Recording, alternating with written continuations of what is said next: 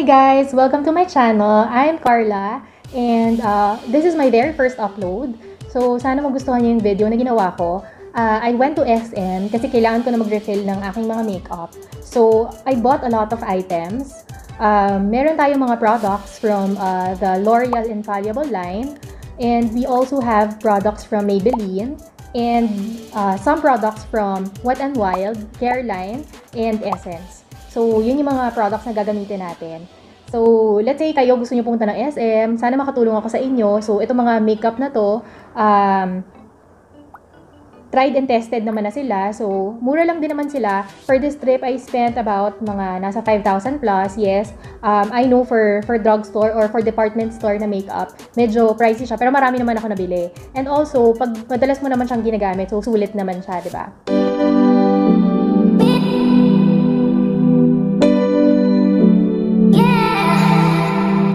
Disclaimer lang ha, hindi lahat ng gagamitin ko on this video is bagong bili. Kasi nga nag-refill lang ako, nag-restock lang ako. So, meron mga products na meron pa ako na gusto ko pa silang gamitin. Kaya, kung ano lang yung mga ubos na, yun lang yung gagamitin. Yun lang yung mga binil ko and yun lang din yung i-haul natin today. Okay guys, so let's start with our makeup. First, uh, that I bought is the Aven Thermal Spring Water. And I got this for uh, 750 pesos. Yan. So, spray lang tayo. And then, pat it dry or gumamit tayo ng fan.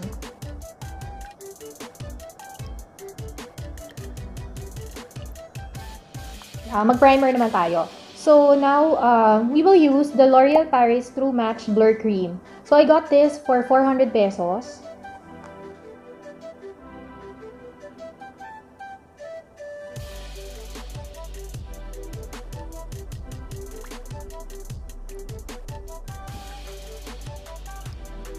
So, this is the Basic Care uh, Sponge Blender. Actually, meron siyang lalagyan na clear, pero hindi ko na nalagay dito. But, um, meron siyang silicone sa ilalim, tapos meron siyang guide na bilog. So, sabi dun sa instruction, ang purpose ng bilog na yon, doon mo ilalagay yung product. And then, siya yung gagamitin mo pang spread sa face mo para alam mo kung ganong product yung kailangan mo. And then, i-wet mo yung sponge, tapos siya yung pang blend mo. So, unfortunately, na-try ko na nga siya and ina-absorb niya yung product. So, mas madami yung product na napupunta na na-absorb dun sa sponge kesa sa napupunta sa face mo. So, yon. But I will still use this later um, pang set natin, pang lagay natin ng powder. So, hindi ko na lang siya babasain. So, now we move on to the foundation. So, what I got is the L'Oreal Paris Infallible Pro Matte in the shade 104 Golden Beige. So, ito siya. And I got this for 550 pesos. Yan. So, sabi ni ate sa counter, advisable daw to kapag uh, oily yung skin mo, And also, she gave me a shade lighter than my skin tone kasi nga acidic ako. So, using my old sponge blender, binasa ko na siya. Tapos, i-blend lang natin yung foundation. So, itong uh, L'Oreal Paris Infallible Pro Matte Foundation, medium coverage lang siya. So, kung makikita nyo, hindi naman yung makakover lahat ng blemishes natin. Pero, okay lang. Kasi tao lang naman tayo, char.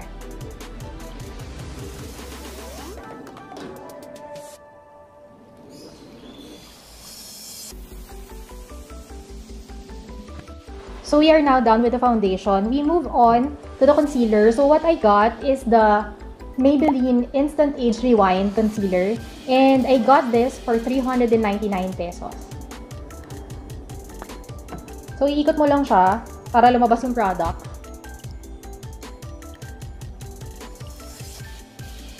And with the same sponge blender, i-blend lang natin siya.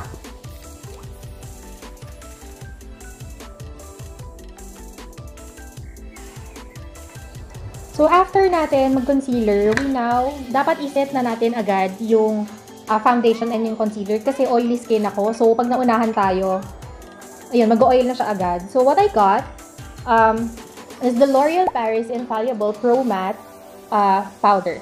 So, I got this for 450. Actually, nakasale siya. 499 talaga siya.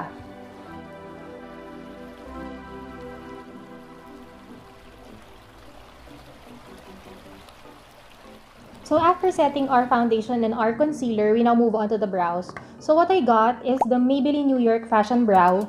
So trio siya na palette. And this is in the shade light brown. So ano daw to? 3D brow and nose palette. And ang bili ko pala dito is uh, 399 pesos. So, ito siya. Meron siyang parang pomade or gel. Hindi, pomade. Tapos, meron siyang um, powder to top your brows. And ito, pang nose contour. So, kuha lang tayo ng uh, spoolie. Brush lang natin yung brows natin.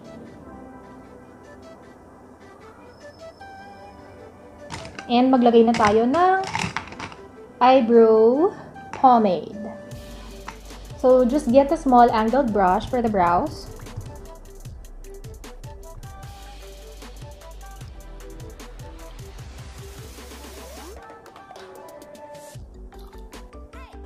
So, kuha naman tayo nung, uh, nung powder. And, itap lang natin siya. I-set lang natin yung pomade.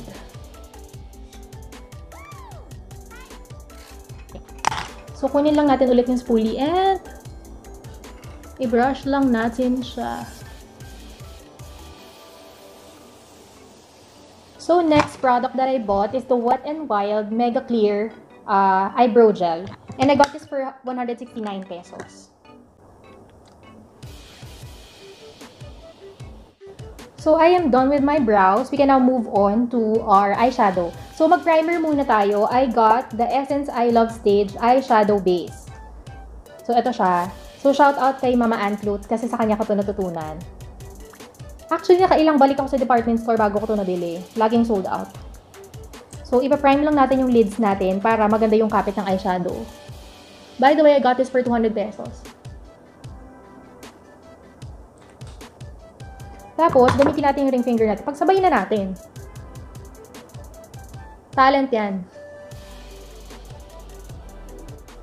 So, after priming our lids, we now move on to our eyeshadow. And what I got is the Wet n Wild Color Icon Rose in the Air. So, itong palette na to, I got this for 399 pesos. Actually, favorite din siya ng, hindi naman favorite, pero um, isa sa magandang reviews ng favorite kong vlogger, which is si Laura Lee. So, we will try this out. So, kuha lang tayo ng fluffy brush. Ang galing o, may nakalagay na transition. So, ayan. Nakalagay yung transition, kaya alam mo na agad kung ano yung gagamitin mong transition color.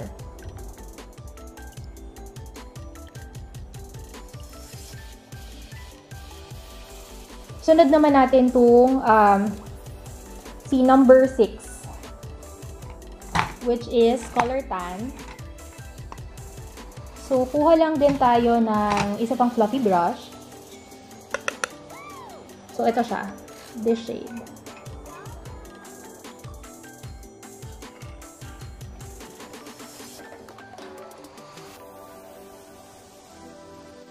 Okay, so after that, gamitin naman natin to si number number 4. Ito. So, naubusan ako ng brush. Kamay na lang natin.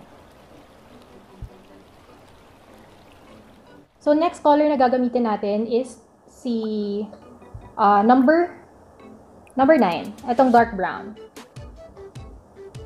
At ilalagay lang natin siya sa outer corners of our eyes. Para madrama.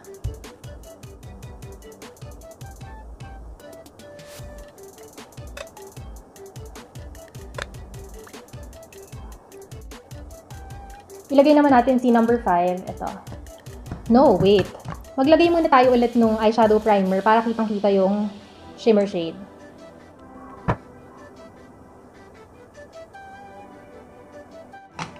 So, with the flat brush, kunin natin yung uh, number 5 at ilagay na natin siya.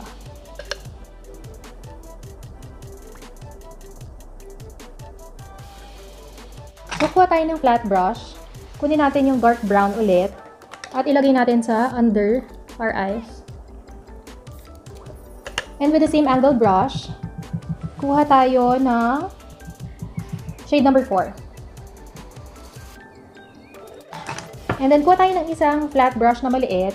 And with, with the shade number 3, etong glitter shade, ilalagay natin siya sa inner corner of our eyes. Actually, alam ko na talaga na maganda siya kasi nga, magandang review sa kanya nung uh, favorite kong YouTuber. Wow. So, nag-curl lang ako ng lashes ko. What I use is the Nichido Eyelash Curler. And I got this for 250 bucks.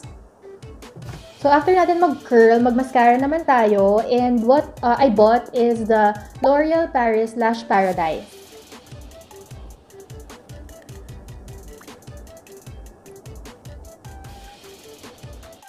So, after natin mag-mascara, I will put on my lashes. And what I got is this, parang generic lang siya na Korean lashes. And I got this for 139 pesos. 139.75. So, magkakabit lang ako ng lashes and I'll be back. Ayan guys, so tapos na ako magkabit ng falsies and nag-eyeliner na rin ako. Actually, this is just the local brand, yung eyeliner na ginamit ko. Though hindi kasi siya kasama sa pinamili ko. But this is the Careline eyeliner. So, very famous to. Mura lang to, guys. So, after our eyes, we can move on to contour. So, ang gagamitin ko today, hindi rin to kasama sa binili ko kasi meron pa, sayang naman. So, what I'm using today is the Marc Jacobs uh, Instamark. So, this is the Instamark uh, palette. So, meron siyang combination ng contour and banana powder. So, yun. Kuha lang tayo ng angled brush. And let's contour.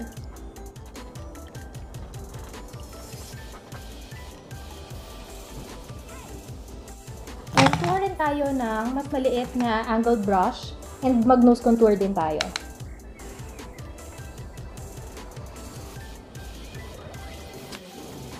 So, after natin mag-contour, we now move on to blush. What I'm using today that I bought is the Nichido True Colors Powder Blush uh, in the shade Tomato and I got this for 88 pesos.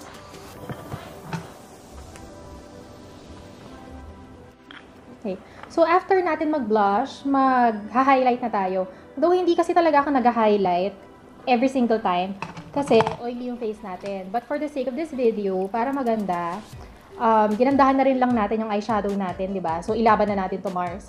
So, ang gagamitin ko today is the CoverGirl. Actually, this is an eyeshadow palette. Hindi rin siya kasama sa binili ko. But, uh, meron siyang uh, glitter shade na maganda.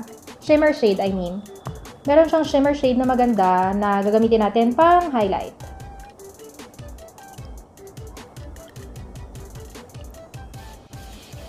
So, lagyan din natin yung ano natin, itong Cupid's bow. And also the tip of our nose. O, diba? Nakakatangos. So, there. After natin mag-highlight, let's now move on to our lips. So, what I bought uh, for our lips is the L'Oreal Paris Infallible Pro Matte Liquid Lipstick. And uh, this is in the shade 372 or Petal Potion. And I got this for I got this for 350 pesos.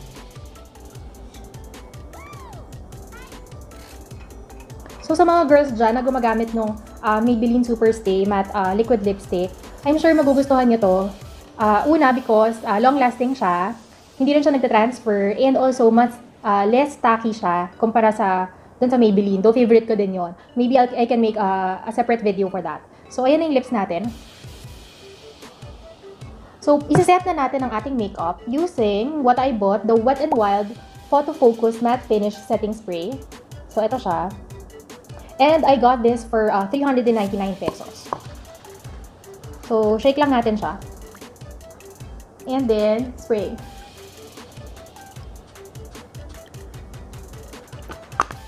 So, gamitin natin to aking pan. So, here guys is the final look. Nag-clip lang tayo, tsaka naghikaw lang tayo. And we are done with our today's look. So, yan lahat ang mga napamili natin sa SM.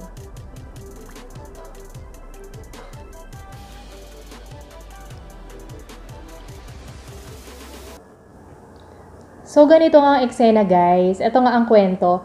One day, bigla na lang sumakit yung puson ko hanggang sa umakyat na siya sa chan ko. Hanggang sa hindi ko na kaya, nagpadala na ako sa husband ko sa hospital. So, um, at sa dami ng mga test na ginawa sa akin, nakita, after ng CT scan, nakita na merong ovarian cyst na nag-rupture. So, pag nag-rupture, meaning pumutok siya. So, yung ovarian cyst na yun, pumutok siya. And, um, lumabas dun sa ultrasound na ang dami ng dugo na, na nasa loob. So, nagdudugo na siya sa loob. So, it's about parang dalawang pack ng zesto, yung dami ng blood na nasa loob. So, kaya pala sobrang sakit na niya. So, dahil doon, um, kinailangan akong operahan. So, para akong naka C-section. So, meron akong ganyang kahaba na natahe sa aking bikini area. So, kasi kailangan nilang i-drain yung blood. And uh, also, to check kung meron bang problema sa loob or wala. So, uh, thankfully, uh, benign naman yung cyst. So, nothing to worry about. Wala naman akong cancer. So, yun lang, kinailangan ng i-drain yung blood kasi um, every day, uh, dumadami ng dumadami yung blood niya sa loob. So, so ayun, kaya ka na-operahan. So guys, isa pa sa realization ko kung bakit inumpisahan ko na tong channel na to. Kasi for the longest time, gustong gusto ko siyang gawin. Pero kasi nahihiya ako. Kasi hindi ko alam kung ano yung magiging acceptance ng tao. And syempre, um, because I work full-time, so wala rin ako masyadong oras to create a channel. But, um, after ng, ng operation ko, sabi ko sa sarili ko, kung hindi ko pa gagawin, kailan, ba? And uh, naisip ko, life is so short. Alam mo yun, ang dami ng beses na muntik na akong mamatay, literally. But uh, I was given so many chances. And uh, kaya gawin ko na lang kung ano yung gusto ko, di ba? Kaysa naman, pagdating ng panahon, pag hindi ko na kaya or pag hindi na pwede, doon ko pagsisihan na hindi ko siya ginawa. So, um, whether i-bash man ako ng mga tao or or what, kung ano man yung kahinat na nitong YouTube channel ko na to, kung dadami man yung subscribers o hindi, at least, uh, nagawa ko yung gusto ko. Siguro yun na lang yung pakonsuelo ko sa sarili ko. So I hope you like this video. Please like, share, and subscribe to my channel. So again, this is Carla. Thank you for watching. Bye!